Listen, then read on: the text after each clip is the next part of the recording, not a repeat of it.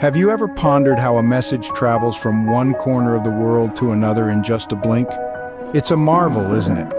One moment you're typing out a quick hello to a friend in Tokyo from your cozy living room in Toronto, and the next, they're reading your message almost as if you're right there next to them. But how exactly does all this happen? Well, welcome to the world of the internet, our planet's greatest communication revolution since the invention of the telegraph. It's a global phenomenon that has shrunk our vast world into a global village where distance is no longer a barrier to communication. Just think about it.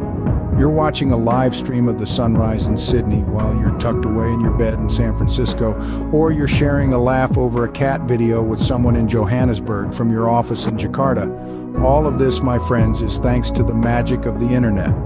But while we enjoy the fruits of instant communication, it's not often we stop to think about how it all works. How does a YouTube video, a tweet, or an email travel thousands of miles in a matter of seconds?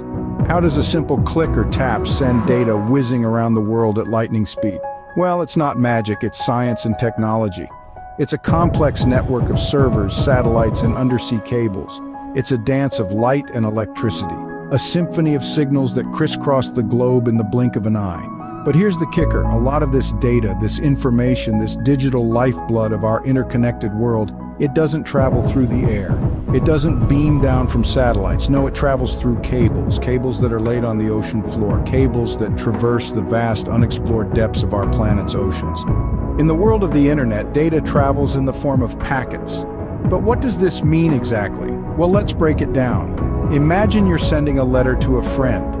Instead of sending one big package, you decide to send it in smaller, more manageable envelopes. Each envelope contains a piece of the letter. Now if you apply this analogy to data transfer, each envelope represents a data packet. When you click on a website or stream a video, the data doesn't travel as a whole. Instead, it's broken down into small packets, each carrying a portion of the information. These packets then embark on a journey through the intricate web of the internet to reach your device. So, who helps these packets on their journey?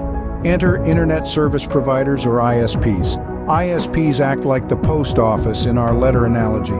They take the packets from the sender and ensure they reach the right destination. They use a variety of technologies and complex routing algorithms to determine the fastest and most efficient way for the data packets to travel.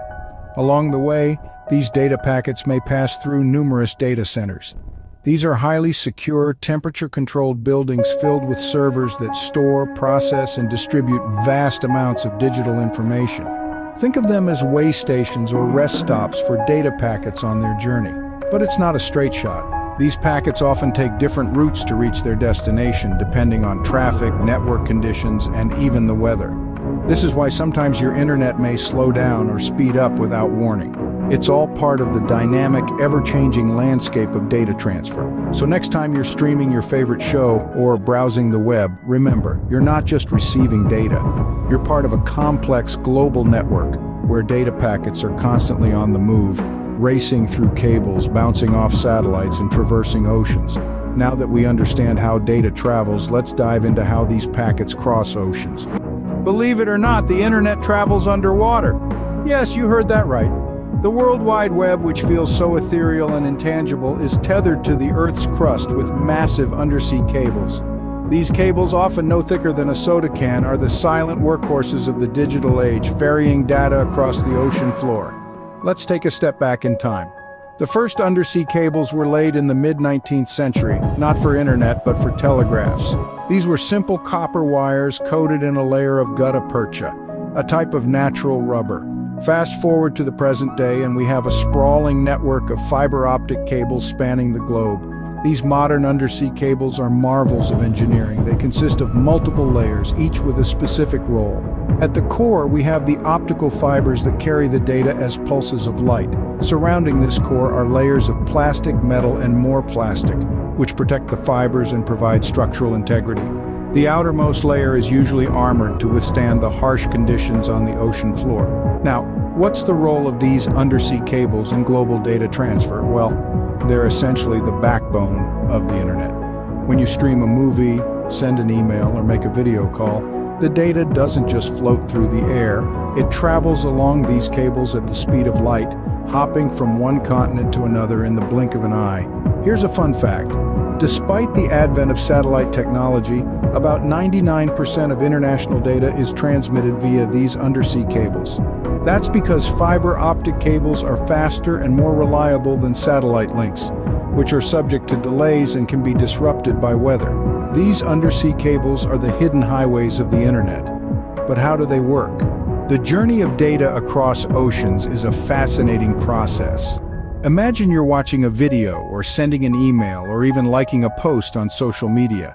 The data that enables these activities doesn't just vanish into thin air, it embarks on a journey. A journey that more often than not involves a voyage across the vast oceans of our planet. So how does this happen? The answer lies in a network of undersea cables as thick as a soda can, spanning thousands of miles on the ocean floor. These cables are the true unsung heroes of our digital age, tirelessly ferrying data from one continent to another. The journey of data begins when it's converted into light pulses by a laser at the sending end. These light pulses then traverse the length of the cable, bouncing off the walls in a process known as total internal reflection but even light gets tired. After about 60 miles, the pulses start to lose their vigor and need a pick-me-up. This is where signal boosters come into play. Every 60 miles or so along the length of the cable, these boosters rejuvenate the light pulses, enabling them to continue their journey.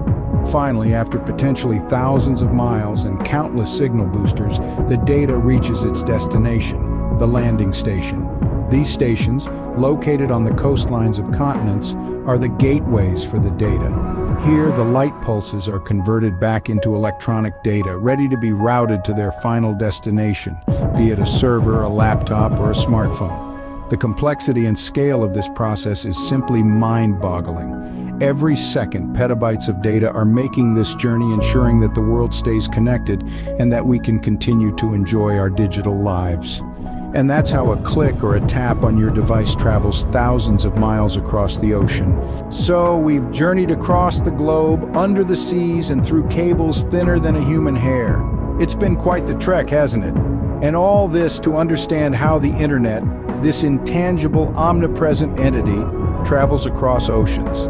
Let's take a moment to recap.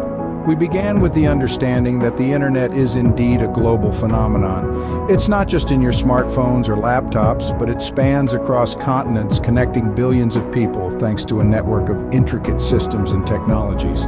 We then delved into the nitty-gritty details of data transfer, the digital language of ones and zeros that whizzes around the globe at the speed of light. We discovered that the internet isn't just in the air, it's also grounded deep under the sea. Our journey took us to the hidden highways of the world, the undersea cables that carry over 99% of international data. These cables, no thicker than a soda can, are the unsung heroes of our digital age. They lie deep beneath the ocean surface, out of sight but critically important.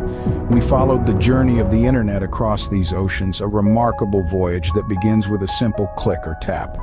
Your favorite video, the email you sent, or that online game you play, all of it takes this incredible underwater journey. The significance of this system for global communication is immeasurable. It brings us closer, breaks down barriers, and fosters a sense of global community. However, it's not without its challenges, the physical and logistical hurdles, the risks of damage, the need for maintenance and upgrades. All these factors remind us that this wonder of modern technology is a delicate, intricate system that needs our attention and care. The next time you send a message or make a video call, Remember the incredible journey it takes to connect you with the world. Until next time, keep exploring.